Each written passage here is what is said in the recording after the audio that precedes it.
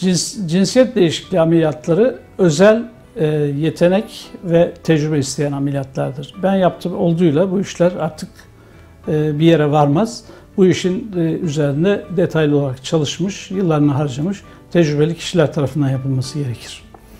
Kadından erkeğe cinsiyet dönüşümün ameliyatı oldukça zordur ve e, özel beceriler ister. Bunlardan birisi mutlaka mikrocerrahi bilmek ve uygulamak gerekir.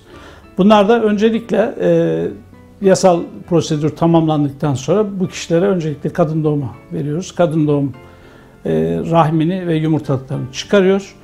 E, aynı seansta veya bir sonraki seansta biz hastaya e, göğüslerini çıkarıyoruz.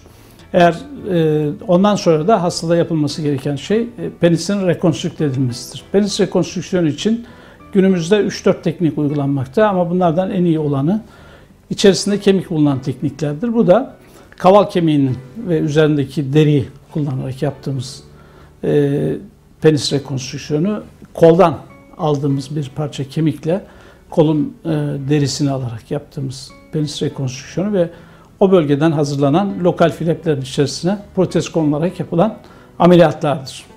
Bunlarda en iyi olanlar dediğim gibi içerisinde kemik bulunanlar ve en dayanıklı olan da kaval kemiğinden yaptığımız penislerdir. Her zaman erekte haldedir.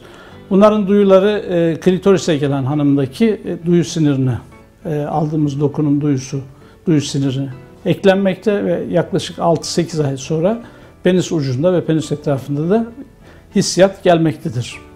E, bundan başka işte memelerin alınması, oranın düzeltilmesi gerekir. Ve hastaya da testosteron hormonu hemen başlanması gerekir ki erkek tipi e, vücutta şekillenme ve bir miktarda tüylenme olsun. E, dediğim gibi e, son derece özel yetenek isteyen bir ameliyat türüdür. Zordur. 2-3 seanslı ameliyatı gerektirir.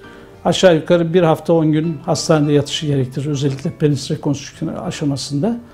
Ee, ve rahatlıkla yapılabilir. Ülkemizde de son derece başarılı bir şekilde yapılmakta.